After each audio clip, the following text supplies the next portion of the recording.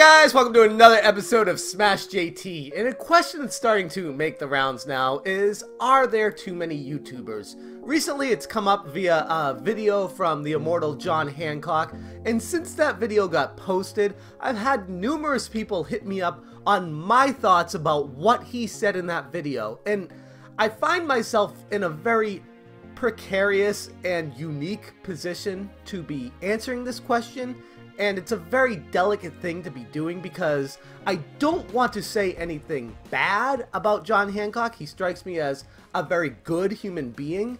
But some of the things that he says in that video are just flat out wrong. And while you're allowed to have your opinion, it doesn't necessarily mean you're right. JT. Do I feel like there are too many YouTubers on YouTube? No. In fact, saying anything outside of the word no is ignorant. It's flippant. It's it's showing that you're not putting a lot of thought into what's going on behind the scenes in everybody's daily lives with their YouTube channels.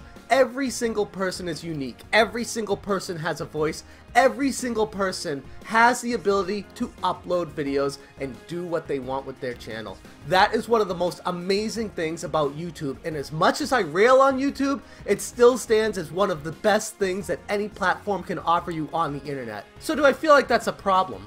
Well, put it this way. While the video was being published, I was actually running a live stream of how to improve your channel, how to make better videos, how to focus your criteria to the end user so that they understand the point you're trying to get across in a very succinct manner and they enjoy the way you do it. Something that you present to the table that no other channels are doing, and you do it in a unique way that finds it so entertaining that they have to click subscribe and they have to come back to you. And while I would agree that YouTube right now, especially the gaming community, is a very crowded place if you're looking to become successful, that by no means tells you that you can't start a YouTube channel. I feel like the message that John was trying to get across to the viewer came off a bit as complaining and that might be because he had so much to say that he didn't really focus the argument into a specific area.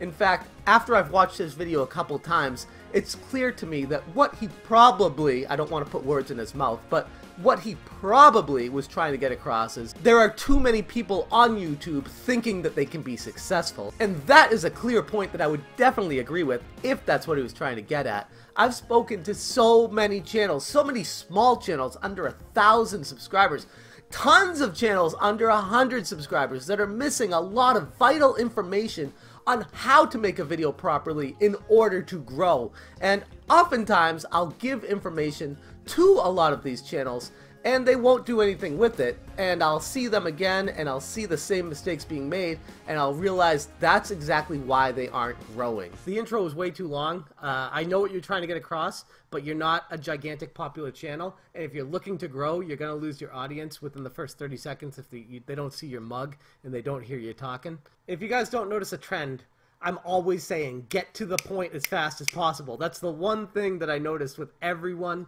that I view is you take forever to get to what the video title is. Being a YouTuber that helps smaller channels get better at their craft and focus their direction and narrative into a specific location, and then watching his video discussing if there are too many YouTubers made me think, if he didn't have the amount of subscribers that he has right now, that video would fall flat on its face because, to be honest, it was kind of embarrassing to watch it. I did not think it was a good quality video whatsoever, and I have higher expectations out of channels with over 50,000 subscribers. And while there's no silver bullet to be successful outside of knowing people and being on their channels and being popular in a group of people that are already successful, but even doing that will take you so far. Eventually, you're gonna need to stand on your own two legs and provide content to the viewers to prove to them why you are worth watching. And if you're unable to do that, you will start losing subscribers and not be successful in the long run. There's really no way to skip the line and get a free lunch with YouTube success. You really need to put the time in, the hours in, find out what your audience is looking for from you and how you can provide something new to them that they haven't seen before. With that being said, make a video the best you possibly can while sitting in front of that camera. And in all honesty,